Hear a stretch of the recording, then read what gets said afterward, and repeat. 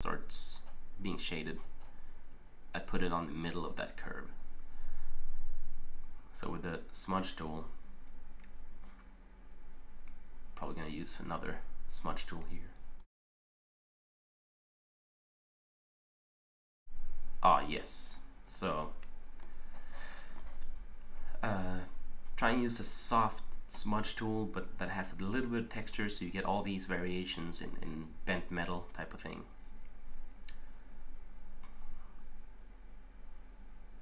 See how I'm softening the edges according to how bent the, the form is at that at that area. So if there's uh, one piece that is very very sharp, I leave it sharp. And then I can start smudging into a, a bigger curve.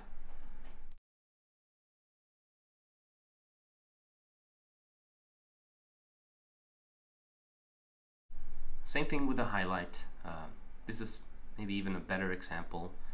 So I look at the object and see where there's a sharp pinch and, and where the curve gets big and soft. So I'm adding this chunk of uh, highlighted color.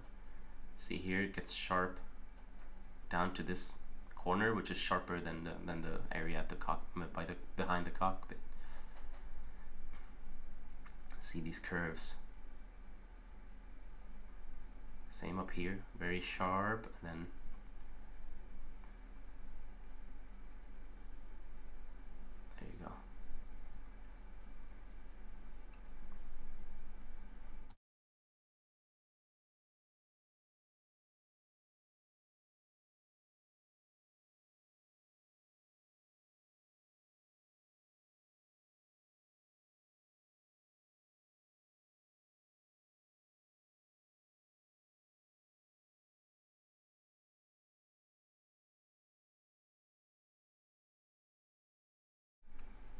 and again with the smudge tool leave the sharper areas and then smudge out the uh, the places where the metal is more of a, a curve.